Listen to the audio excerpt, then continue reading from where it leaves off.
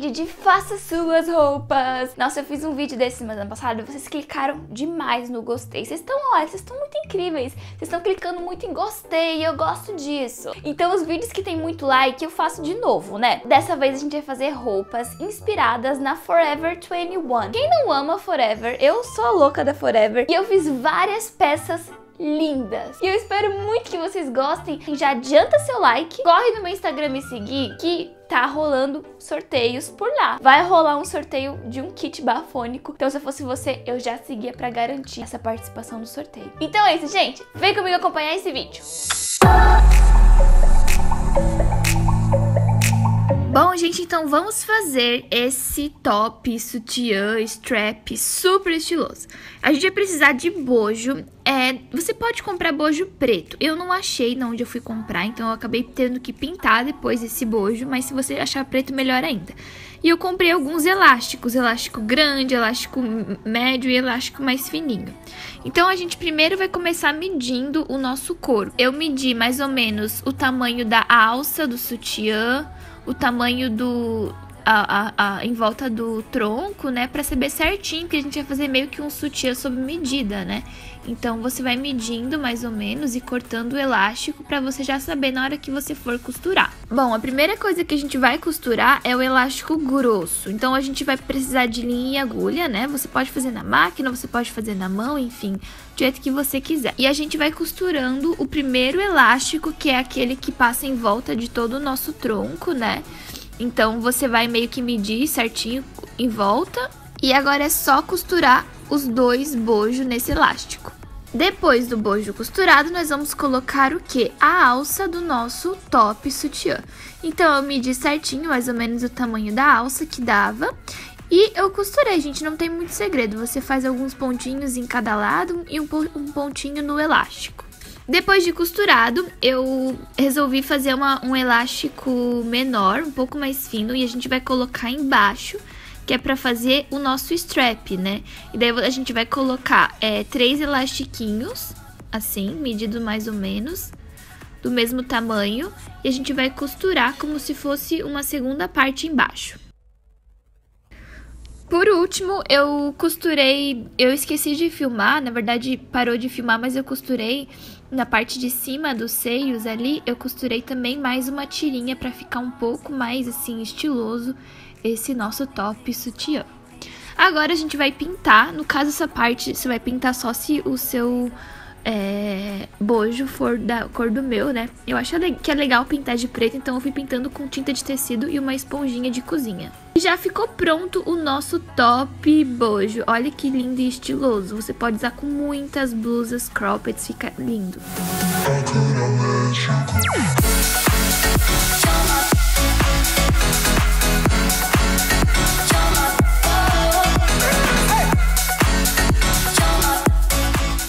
Vamos fazer uma bolsa de diamante. Essa bolsa eu vi uma vez na Forever e eu amei, só que eu nunca consegui comprar. Eu não comprei, depois parou de vender e eu achei lindo. Gente, você vai precisar então de EVA e é, a nossa imagem, né? Eu imprimi do Google, coloquei diamante, imprimi essa imagem do Google e a gente vai recortar essa imagem, tá? Bem certinho, que vai servir de molde para o nosso EVA. Daí eu peguei um EVA que ele é com glitter preto, então que eu achei que ia ficar mais legal.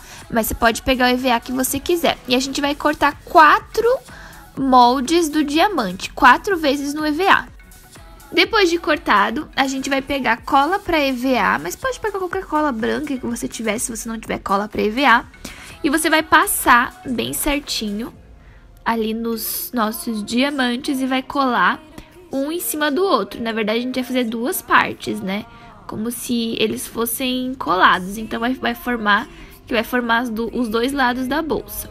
Depois, eu peguei um EVA na cor cinza. E eu mais ou menos peguei um, uma medida de uma xícara na minha casa que fazia certinho ao redor da bolsa, um redondo, e que ele não saísse do diamante, entendeu? Então você vai cortar dois círculos, que vai ser o nosso meio da bolsa. Você desenha no EVA e recorta. Depois, com os dois círculos cortados, a gente vai separar e agora a gente vai cortar uma tira. Eu peguei esse EVA prateado com glitter, mas você pode fazer no preto também se você quiser. E essa tira, é, na verdade, eu medi mais ou menos uma largura que eu queria a bolsa, que eu queria ela bem larga, porque como a bolsa era pequena, eu pensei, ah, vou fazer ela um pouco mais larga para caber mais coisas.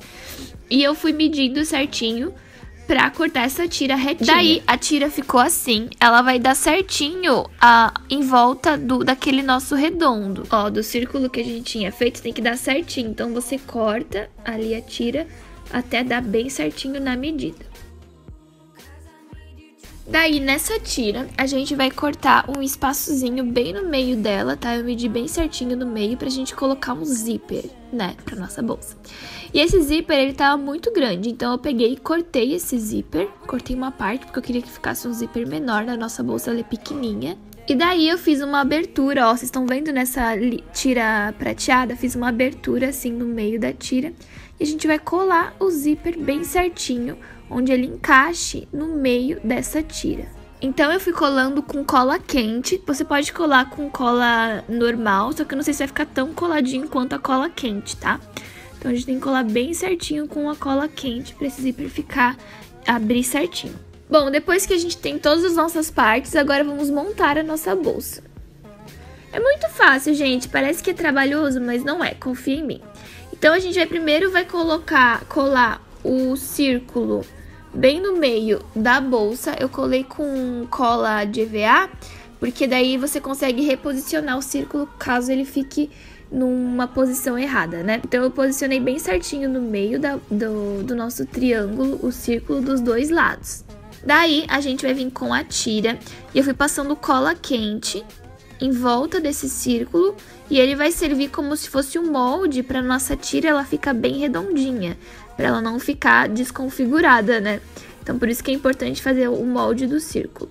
E você vai só encaixando, vai passando a cola quente e vai encaixando bem certinho aquela tira no círculo. O que é difícil é, é, encaixar a outra parte da bolsa no círculo. Acho que é a parte mais difícil de fazer a bolsa. Então, você tem que ter mais ou menos aí um jogo rápido, passar a cola, passar a cola quente e já colar o círculo para ele ficar certinho. Colei um elastiquinho em volta porque ele tinha ficado meio feio da cola quente, então eu fui colando um elastiquinho em volta para ele esconder aquelas marcas de cola quente, mas você pode colar uma fitinha, enfim. Depois, gente, eu peguei uma, uma tira de couro, mas você pode pegar uma, uma, uma, uma, um barbante, barbante não, um cordão, né, de uma outra bolsa sua, pra gente fazer a alça, né? Então você pode reutilizar de alguma outra bolsa sua se você quiser. Eu só peguei essa tira de couro e eu fui colando ela pra ela é, ficar mais fininha e com um acabamento melhor, assim, dividindo ela bem no meio. E você pode fazer a tira do tamanho que você quiser. E depois eu só colei a tira na bolsa. Colei com cola quente mesmo, eu fui colando até ficar bem coladinho. Por último, para formar o nosso diamante, a gente vai recortar toda a parte doura, é, dourada, branca do molde. Vocês estão vendo essa parte branca? A gente corta, que vai ser o nosso molde para os detalhes. Então, eu, você vai recortando e daí você vai vir num... Ou você pode ir num EVA de outra cor, um EVA dourado, um prateado, um, enfim, como você quiser, roxo. E você, eu, eu, eu coloquei tecido, né, porque eu quis fazer diferente com tecido. Aí você vai desenhando no tecido e vai recortando todo essas essas partezinhas brancas do nosso diamante.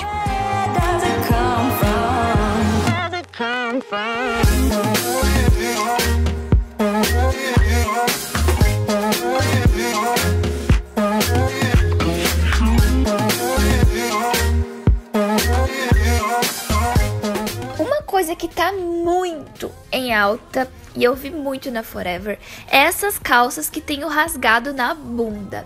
Eu sei que muita gente vai achar meio bizarro, e realmente é bizarro, mas eu, eu confesso que eu tô gostando bastante, tá? Dessa moda, que o rasgo na bunda, no bumbum. Então eu peguei uma calça minha, que ela, ela era uma calça boyfriend, e eu medi certinho pra, claro, não aparecer muito, né? Não, não expor demais o nosso bumbum. E eu medi na, no meu corpo, aí eu fiz o corte. Eu cortei com o estilete, porque ele, quando a gente corta com o estilete, ele já vai meio que desfiando e dando aquele efeito destruído da calça jeans. Então eu fiz um recorte ali, É, essas calças que tem o recorte no bumbum são muito caras, gente. Então, imagina, você pode fazer na sua casa e fica muito incrível, tanto quanto uma calça comprada. Daí você vai desfiando. Eu peguei a pinça, eu fui meio que tirando os, as tirinhas brancas, né? E você pode também vindo com a gilete passando, porque vai dando um efeito mais destruidinho ainda. E pode parecer bizarro, eu sei, mas super funciona, fica muito estiloso, muito lindo. Eu tô usando bastante. agora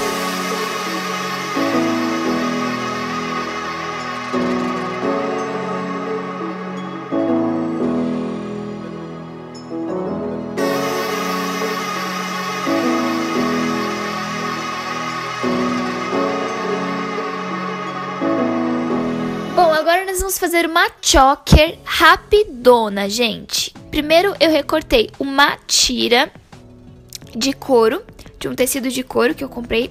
Então eu cortei uma tira retinha assim com um estilete para ela ficar retinha.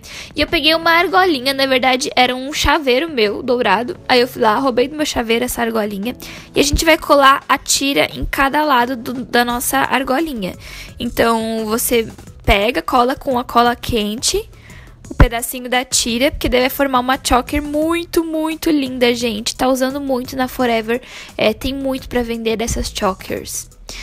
Daí, depois só você fazer o acabamento, eu recortei certinho o tamanho do meu pescoço, né? Eu medi certinho, recortei. E na ponta eu coloquei esse negocinho que eu comprei em loja de armarinho, que vende coisas para fazer brinco, pulseira, sabe? Essas lojas. Então vende isso aqui, é bem baratinho, gente. Aí, ou você pode roubar de uma pulseira sua. e daí eu fui colando certinho, colocando com o alicate. Coloquei o fecho da choker. Muito fácil, com o alicate mesmo. E, gente, já ficou pronta a nossa choker. Rapidinha, fica linda.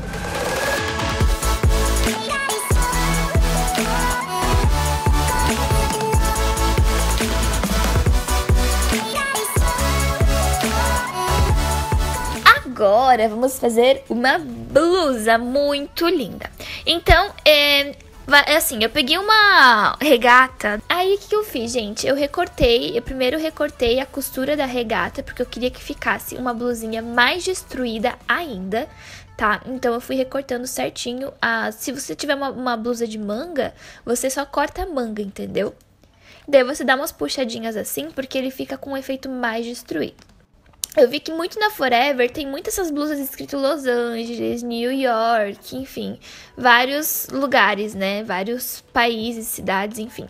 Aí o que, que eu fiz? Eu peguei é, esse meu letreiro que eu tinha na minha casa, mas você pode pegar aquelas, sabe aquelas réguas que vem as letrinhas já desenhadinhas? Muitas pessoas têm. Então, vende papelaria, muito fácil. E daí eu fui escrevendo. Eu escrevi Los Angeles e eu escrevi com tinta de tecido. Lembra que você tem que colocar uma folha sulfite embaixo da, da blusa na hora que você for pintar, tá? Pra não passar pro outro lado. E eu fui dando batidinhas com o pincel até ficar bem certinho a escrita Los Angeles. Depois que secou, o que, que a gente fez? O é que, que, que eu fiz, né? No caso, você pode transformar essa blusa cropped se você quiser. Eu resolvi fazer ela amarradinha. Como? Eu recortei a barra dela numa medida que não ficasse tão curta, tá? Mais ou menos no meio da barriga. Só que eu não cheguei até o final, tá? Primeiro você recorta cada lado. E daí, quando a gente, quando você chegar no final, você só com a parte de cima da blusa vai recortar um triângulo, tá? só com a parte de cima. A parte de trás você vai cortar toda fora. Nesse triângulo, você vai cortar o triângulo no meio, é, que vai funcionar como se fosse para você fazer o amarradinho. Então, quanto maior o seu triângulo, mais amarradinho vai ficar essa sua blusa, assim, com um efeito bem legal. E para finalizar, eu fui fazendo uns furos na blusa. Então, fui fazendo vários recortes. Eu, eu vejo que na Forever, as blusas, as t-shirts, elas têm muito esses furinhos. E, nossa, gente, é muito fácil fazer. Você vai com a tesoura recortando assim, ó. Faz uns maiores, uns menores para não ficar igual, né? Pra ficar bem destruído. Depois você vai puxando esses furinhos e eles vão abrindo e parece que realmente, assim, deu um acabamento meio destruidinho. Fica lindo! E assim fica o resultado final da blusa.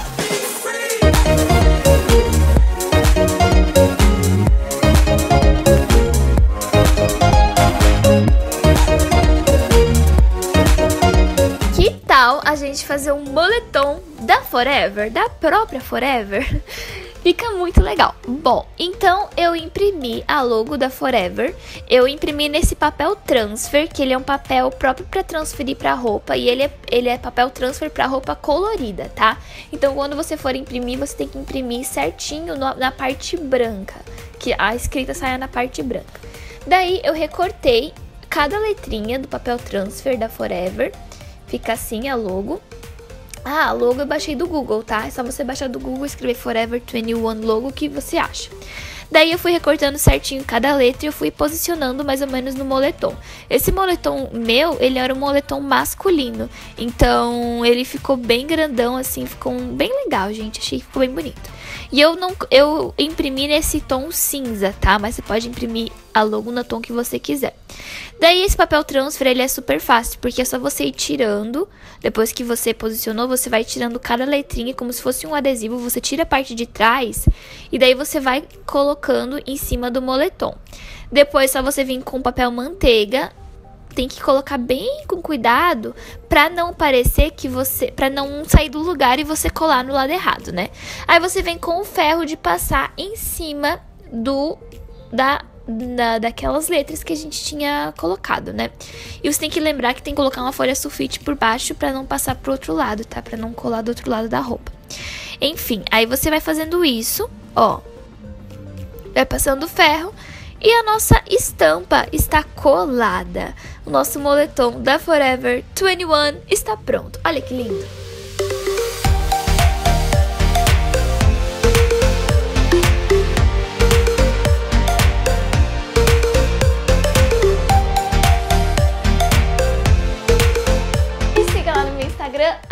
Arroba Amanda Domênico. Te espero por lá, tá bom? Um beijo, tchau!